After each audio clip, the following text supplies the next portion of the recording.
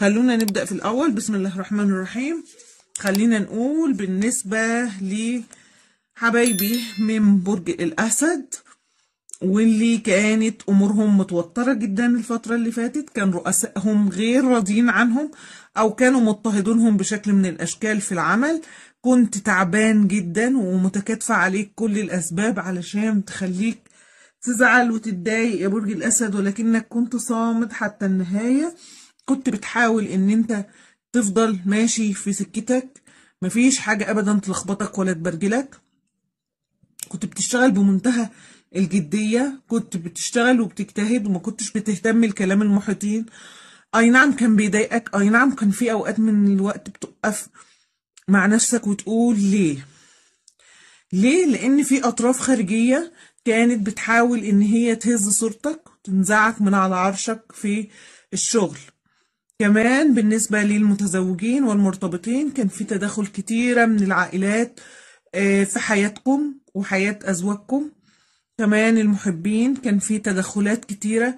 كان في ناس كتيرة حاطة عينيها وحاطة مناخيرها وحاطة إيدها في حياتك يا برج الأسد وده كان مسبب لك مضايقة جدا. أحب أقول لك اطمن خلاص كل إيديهم اتشالت الكل هيرضى عنك نظامك هيمشي حلو. ورؤسائك هيرضوا عنك الكبار في العائلات هيرضوا عنك وهتبقى في خيرات كتير.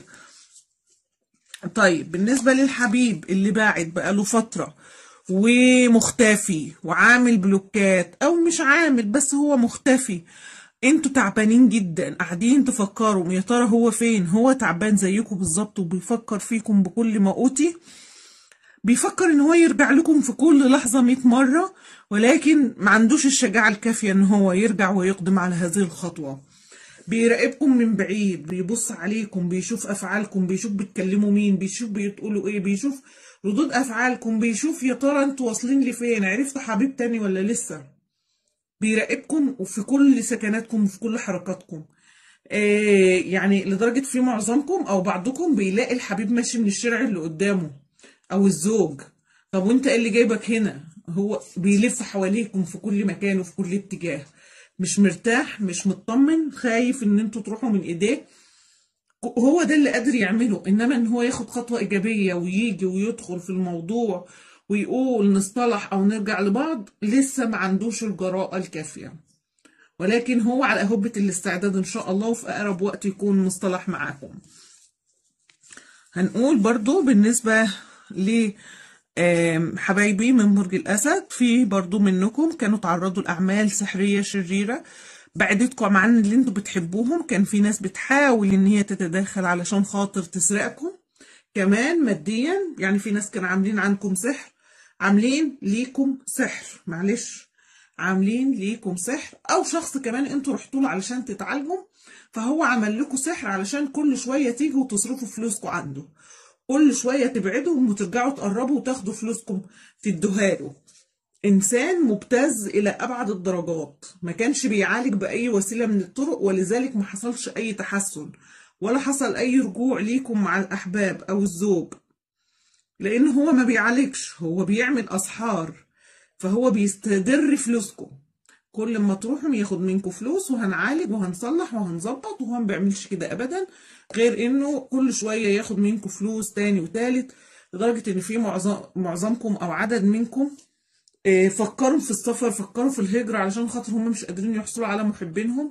فخلاص إحنا هنبعد إحنا مش لاقيين حل إحنا الاسحار دي ما بتخلص إحنا الحسد ده ما بيخلص.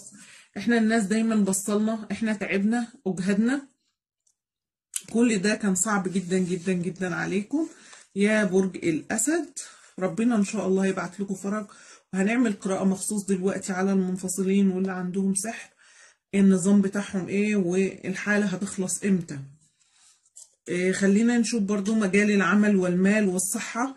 بالنسبة للعمل فإن شاء الله ليكم استقرار منقطع النظير في استراحة وقعدة ووقفة مع النفس كده وإن أنتوا تاخدوا نفس كده وتقولوا ياه إحنا تعبنا كتير. بس خلاص إن شاء الله الراحة جاية بلا اكتفاء. تمام؟ بالنسبة للمال فالمال جاي من الباب والشباك ومن فوق الأرض ومن تحت الأرض ومن كل حتة.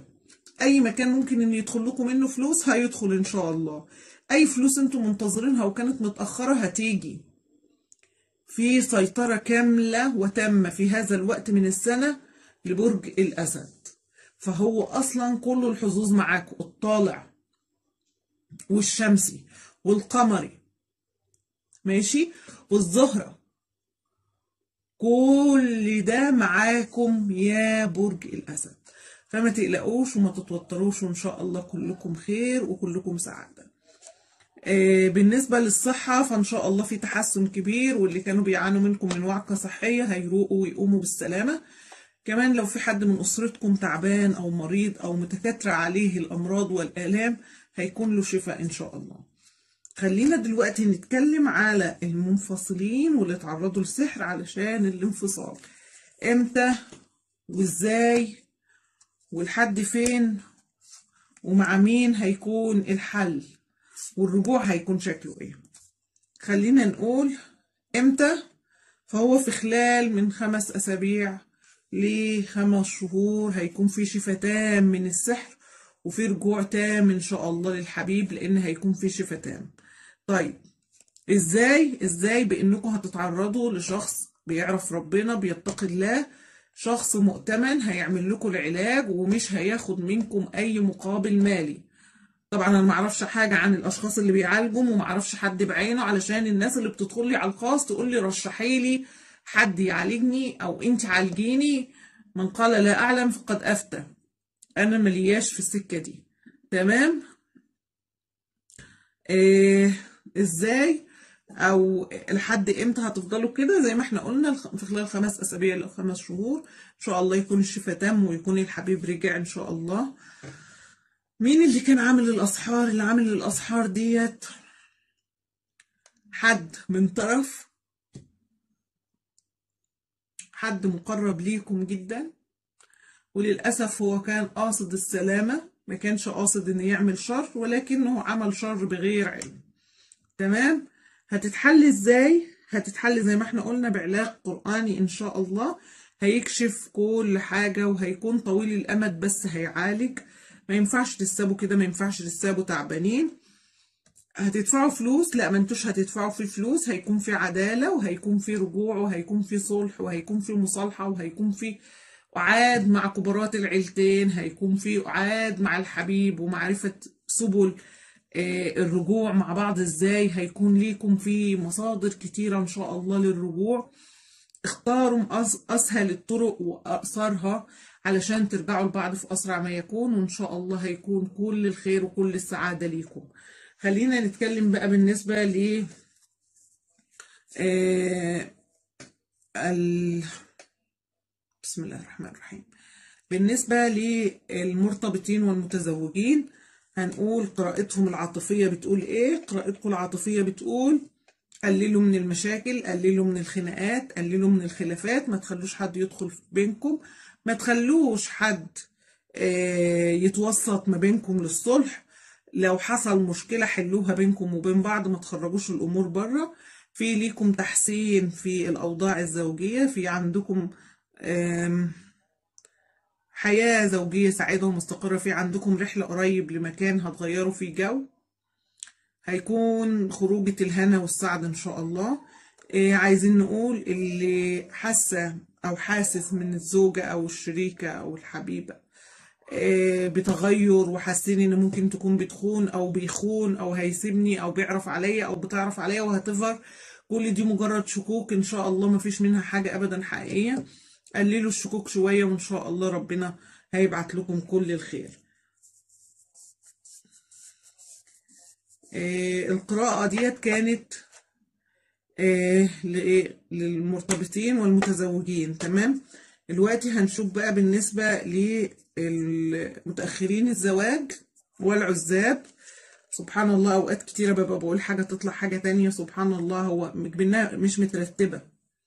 فخلينا نقول بالنسبة للعزاب ومتأخرين الزواج إن شاء الله في فرص كبيرة. أولا للتحسن المالي ثانيا للخروج والفسح ثالثا علشان معرفة حبيب. خلي بالكم إن الحبيب اللي هيجيلكوا هيكون خارج لسه من علاقة تانية فاشلة وحشة وهيكون عايز تطبيب كتير وعايز حد يداوي جروحه وعايز يتعرف على حد يساعده.